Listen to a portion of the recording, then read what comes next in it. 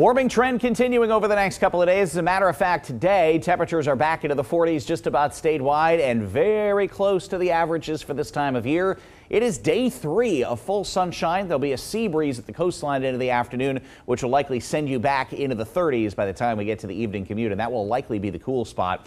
Later on this evening, temperatures drop back into the teens and 20s, but as you'll notice, it won't be nearly as cold as what we've had the last couple of mornings. And tomorrow, the trend is sunshine to clouds. Some 50s on the maps tomorrow afternoon with a chance of a couple of showers later Thursday night and early Friday. And the warm up continues from there as skies try to break apart after a couple of early showers on Friday. Temperatures will be in the 50s statewide. And from there, there's a chance to go into the lower 60s with a warm front back to our north and west as we work our way into the day on Saturday.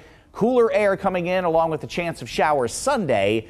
And that will be the beginnings of cooler air that eventually comes in for the end of the week. So you'll notice the gradual upward trend in temperatures through Saturday, only to cool off early next week.